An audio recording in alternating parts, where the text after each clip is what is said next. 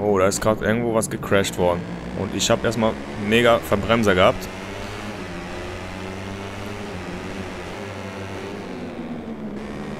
Dieser Wichser, der kennt, ey. Der soll mal stürzen oder so, ey. Den kriegen wir auch nicht zum Sturz, ne?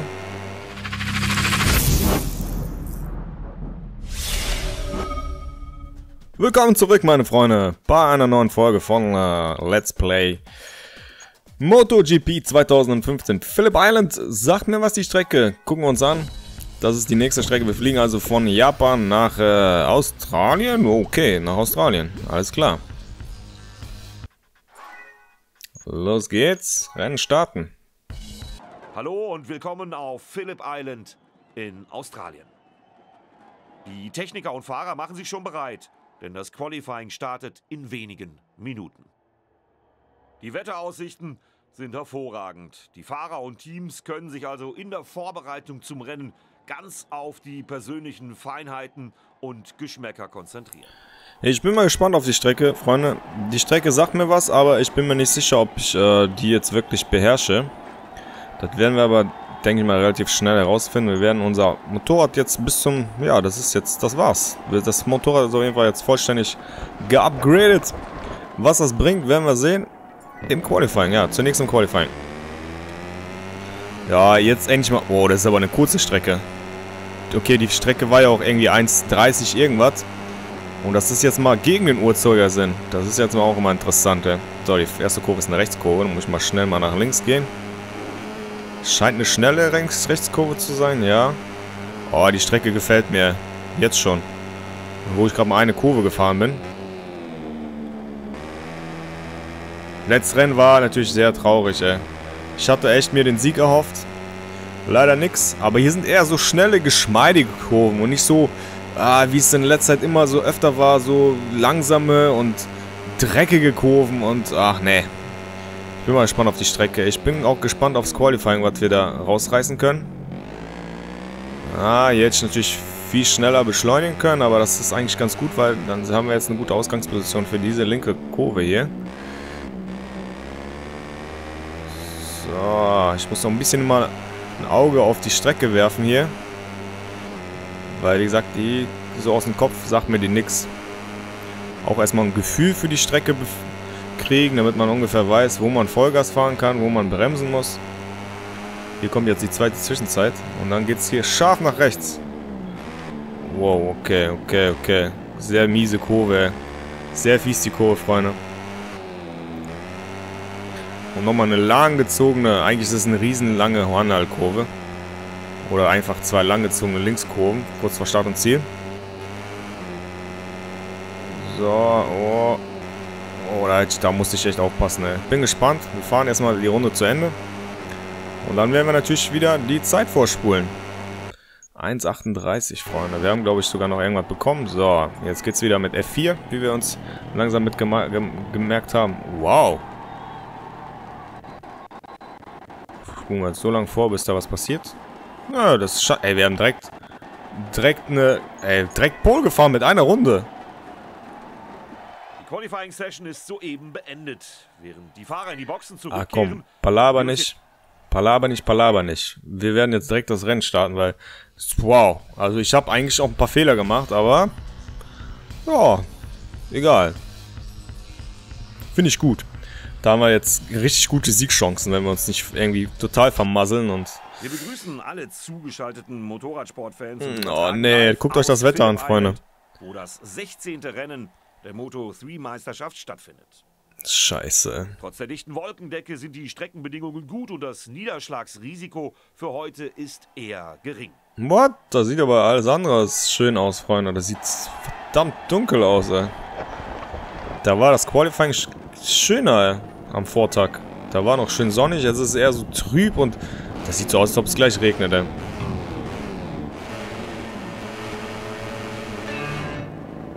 Gut. Start haben wir schon mal verkackt. Wie immer. Meistens jedenfalls. Kennt Oliviera, die Säcke, ey. Ich muss die diesmal jetzt knacken, die beiden, ne? Diesmal muss ich das schaffen, ey. Oh. Wow, was ein Manöver. Erst nach außen, dann nach innen getrieben, ey. Bam. Oliveira geht vorbei. Ja, das ist sehr gut. Dann könnte er ihm vielleicht ein paar Punkte abnehmen. Oh, da ist gerade irgendwo was gecrashed worden. Und ich habe erstmal mega Verbremser gehabt.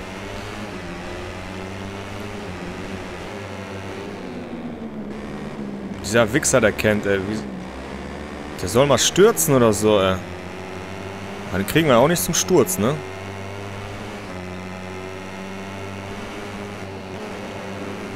Wow, wow, wow, wow, wow, wow. Das war knapp.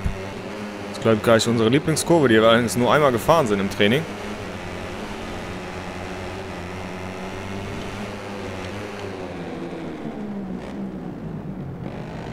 Ha! Geil, Leute! Geil, geil, geil, das wollte ich, ey. Genau das wollte ich, genau das wollte ich provozieren, ey. Kent ist gestürzt, ey. Wie geil ist das denn, ey? Ich hoffe, der holt heute keine Punkte. Da haben wir vielleicht doch mal noch eine Chance. wow, ey. Geil, ey. Und wir haben mal mega Vorsprung, ey. Wahnsinn, ey. Ey, das ist mein Tag, ey. Das gefällt mir schon mal. Noch ein Datenpaket erhalten, wofür wir es gar nicht mehr brauchen. Weil wir es nicht mehr benutzen können. Über 200 in die Kurve, ey. Kranke Scheiße.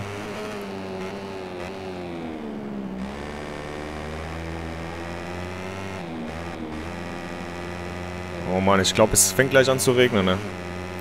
Das ist so geil, Leute. Es ist so geil. Endlich hat er sich mal auf die Schnauze gelegt, ey. Und dann noch von uns, ey. Ich fühle mich richtig gut, ey. Wie oft hat er uns schon auf den Boden geschickt, ey? Wie oft? Am Anfang haben wir ja diese Replay-Funktion gar nicht benutzt, weil ich dachte mir so, komm, ey. Halten wir es relativ realistisch. Jetzt fahren wir im realistisch äh, Schwierigkeitsgrad. Und äh, brauchen die Replay-Funktion sehr oft. Manchmal äh, zu oft. Aber ich, wir fahren hier jetzt gerade ein souveränes Rennen, ne? Whoop. Gucken wir mal, ob wir uns vielleicht vom Feld irgendwie absetzen können. Das wäre ganz schön. Das wäre schön, Freunde. Boah, die Strecke gefällt mir. Ich hab's, ich sag doch, irgendwann hat man, hat man so, so ein, so ein Gefühl, dass man sagt, hey, die Strecke ist geil. Hey, die Strecke ist mies. Oder die Strecke ist richtig behindert, wie wir vor, glaube ich, zwei, drei Folgen gesehen haben. Das war eine Katastrophe. Ey, das war, ne, wo wir noch den Test danach noch machen mussten. Boah. Das war nicht schön. Und guck mal hier, hier fahre ich vielleicht sogar Rundrekord. 1,36 war der. Ah, knapp verpasst.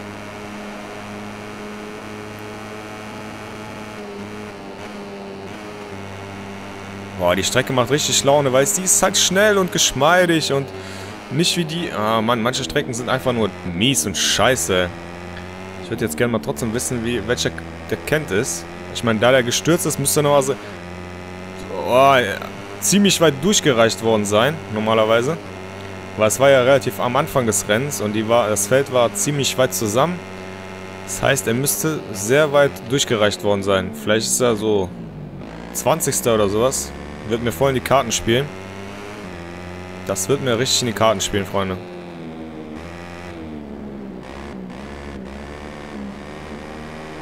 So.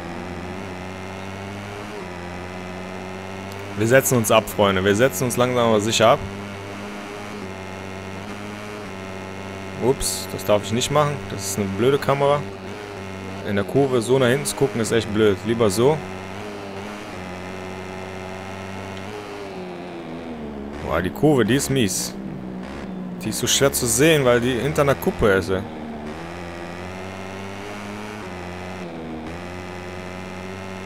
So. Die Strecke macht richtig Fun, ey. Geile Strecke. Das liegt jetzt aber auch nicht daran, dass ich jetzt irgendwie Erster bin. Die macht einfach nur Laune, weil die Kurven sind so geschmeidig und nicht so... Ah, wie, so abgehackt, ey. Das ist... Nee, das ist einfach nix. Die Runde war aber auf jeden Fall deutlich schlechter als die davor. Und der Computer ist auch ein bisschen näher rangekommen, ehrlich gesagt. Nicht, dass irgendwie die Reifen nachlassen oder so. Das wäre scheiße. Weil das habe ich meistens irgendwie immer so zum Ende der Rennen. Am Anfang habe ich richtig guten Grip und alles und dann irgendwie kommen die mal alle näher, beziehungsweise im letzten Rennen war es ja richtig blöd, da haben wir ja voll viel Zeit verloren am Ende. Da konnten wir nicht mehr machen, obwohl wir am Anfang relativ gut mitkamen. Aber je später das Rennen wurde, je mehr Runden wir gefahren sind, desto schlimmer wurde es dann mit den Reifen. Und dann ging gar nichts mehr am Ende. Da habe ich gerade noch so den dritten Platz irgendwie aufs Treppchen geschafft. Das war... Wow. Okay, das war fast ein Sturz. Schade, wir sehen nicht, welcher Platz der Kent ist. Ich bin gleich gespannt, wenn wir ins Ziel fahren. Ich hoffe als erster. Welcher Platz der geworden ist. Normalerweise dürfte der in diesem Rennen keine Punkte holen.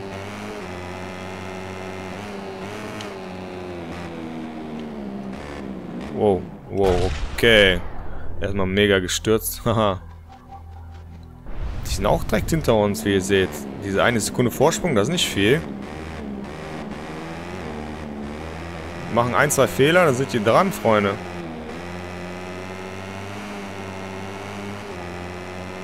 Wie jetzt zum Beispiel. Ich glaube, die sind relativ nah dran gekommen. Gucken wir gleich mal. Ja. Sind näher. Und da sehe ich schon wieder ein... Ein...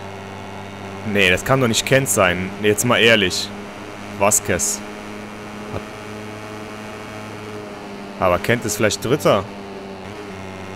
Navarro fährt Streckenrekord, ey. Ich geh kaputt.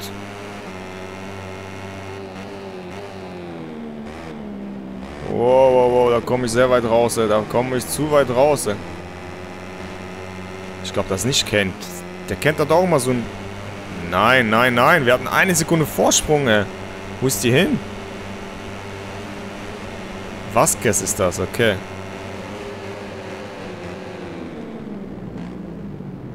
Ja, die Spannung wollte ich eigentlich nicht jetzt noch reinbringen. Oh, jetzt nehmen wir dem Kent noch... Bringen wir dem Kent noch Punkte oder was, ey? So wollte ich das jetzt eigentlich nicht machen, ey. Besonders zwei Runden vor Schluss, ey. Verdammt und zugenäht. Ich hätte einfach Replay machen sollen, ey. Shit.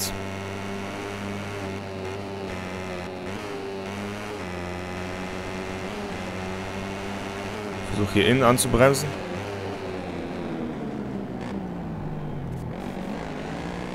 Oh, habe ich den nächsten auf die, auf die Bretter geschickt, ey. Das ist eigentlich nicht so gut, weil nicht, dass die wieder Punkte verlieren und der Kent kommt näher und holt Punkte. Das wäre scheiße. Aber der Sieg war schon fest eingeplant, ey. Jetzt fährt da so ein Quattaro vorne vor mir. Ich block den, ey. Ich block den. Shit. Der Sieg war echt fest eingeplant, Freunde. Jetzt sind wir in der letzten Runde.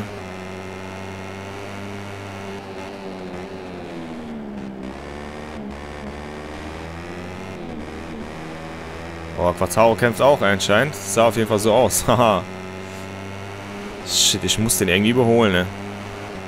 Irgendwie muss ich den überholen, ne?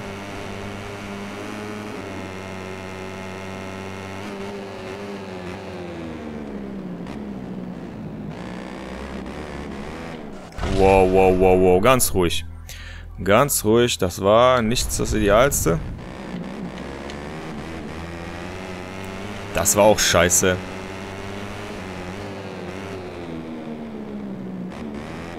Wir würden halt nur durch den Sieg richtig rankommen, ey. Und dafür brauchen wir unbedingt den ersten Platz, ey. Verdammt, ey. Was habe ich auch angestellt? Über eine Sekunde Vorsprung verspielt, ey.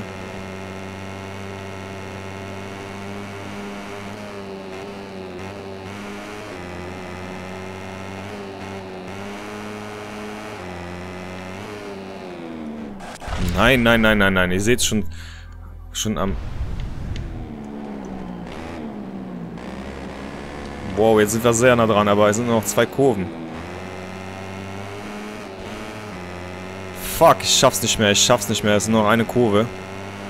Hätte ich noch eine Runde gehabt, ey. Verdammte, Windschatten schaffen wir es auch nicht mehr. Oh Mann, ey, wir haben den Sieg sowas von verschenkt, ey. Sowas von verschenkt, ey. Verdammt, ich ärgere mich so dermaßen, ey. Mist, ja, das, das passt auch zu dem... Ah, das passt gerade zu meinen Emotionen, ey. Ah, das ist bitter, ey. Der ist noch Neunter geworden, ey. Boah. Guck mal eben kurz auf die Punktezahl. Wir haben immer noch 24 Punkte Rückstand. Ja, krass, ey.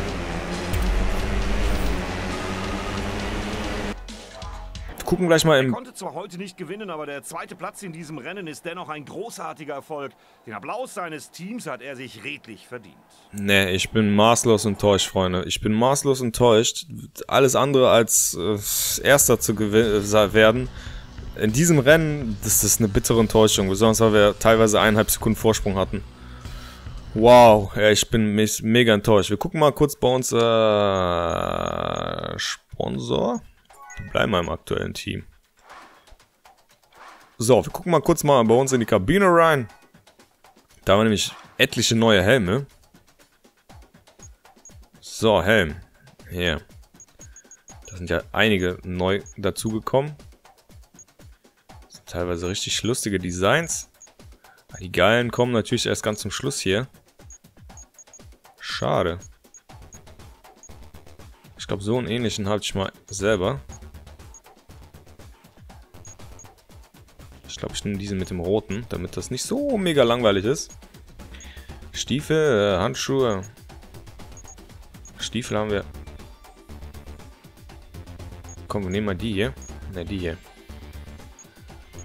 Ähm, ansonsten können wir... Ach so, ich glaube, hier können wir das... Ne, das ist ja der Name auf dem Arsch von uns. The Beast. Fahrerinfo gucken wir uns nochmal an. Ah, hier steht nichts. Fahrstil. Können wir auch nochmal hier ändern. Okay. Ja, gut. Freunde, dann äh, sehen wir uns beim nächsten Wochenende in, ich weiß gar nicht wo. Lassen wir uns in der nächsten, einfach in der nächsten Folge überraschen. Bis zum nächsten Mal.